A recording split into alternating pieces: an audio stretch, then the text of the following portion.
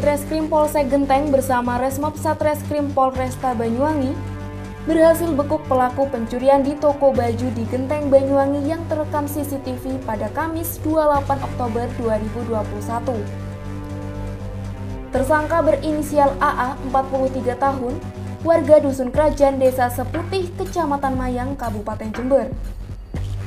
Masih Kapolsek Genteng, penangkapan terhadap tersangka AA 43 tahun dilakukan berdasarkan laporan korban.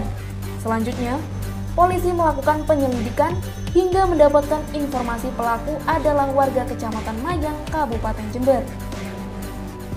Usai dilakukan penangkapan oleh anggota, pelaku juga mengakui perbuatan tersebut dilakukan bersama teman perempuannya berinisial MS yang saat ini masih buron. Akibat kasus pencurian ini, korban mengalami kerugian kisaran 5 juta rupiah. Untuk mempertanggungjawabkan perbuatannya, pelaku dijerat pasal 363 ayat 1 ke 4E KUHP tentang pencurian dengan ancaman kurungan maksimum 7 tahun penjara. Tim Liputan Banyuwangi Hits melaporkan.